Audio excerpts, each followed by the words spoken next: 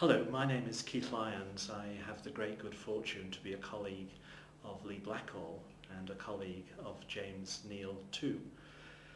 I'm speaking from an atoll somewhere in the South Pacific at the moment. Uh, this conference is such a top secret location that I've been sent out to reconnoitre alternative venues in case our Canberra hosts find it difficult to have the event held in Canberra.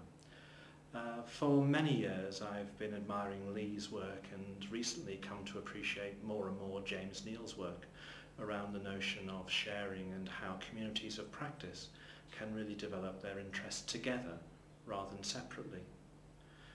The conjunction of Leigh's arrival, James's ongoing work and my fascination with the sharing of ideas prompted us to think about an idea for an IP conference to enrich the debate at the University of Canberra around its own IP policy.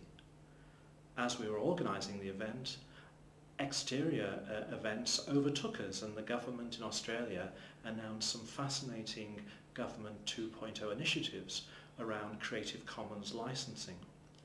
We're hoping that our workshop to be held in Canberra on the 11th of June will add to this discussion and with a variety of colleagues both within and outside university, we hope to explore ideas and practices that will be central to the universities of the future, who themselves may cease to be buildings and may become ideas that are shared between like-minded colleagues keen to share ideas. Welcome again to the conference. Uh, it's a three-hour discussion fest and my only reservation is that I cannot work out how two uh, people like Leigh Blackall and James Neal have chosen to give our workshop chronological time slots.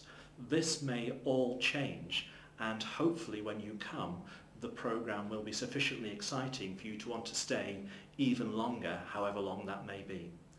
Welcome again and thanks for being involved in this process.